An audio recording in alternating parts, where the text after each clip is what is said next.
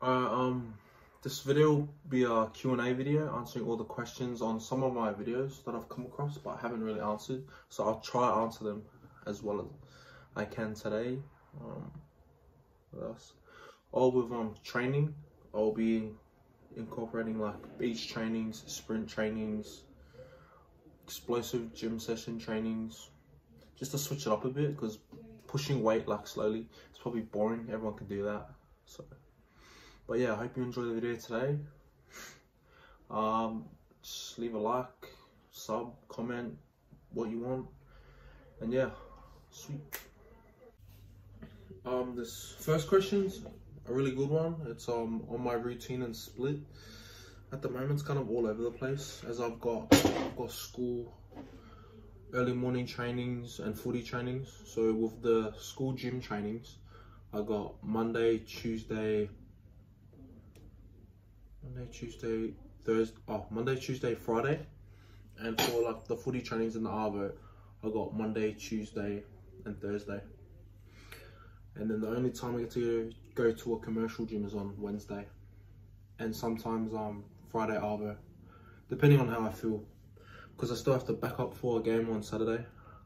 And it's just kind of hard, but um yeah, I'm working on it. As soon as holidays come around, we've got our break. It'll be a two week break, so I'll try to get my stuff sorted together and have something, hopefully. Just wait on that one. Uh, another big question is about my meal prep and my eating plan and if I'm on a diet, if I do dieting and whatnot. I don't, I don't, I've never done dieting.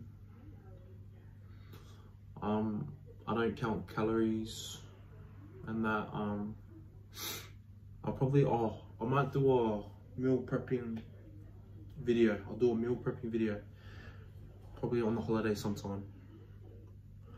And um, shout out to my mom. She she plays the most part in cooking.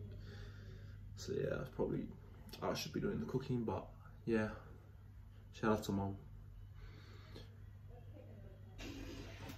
While this is on content anything content related, I'm gonna be try pushing heaps heaps more through the holidays. Like I said, um, like anything you wanna see, just drop it in the comments.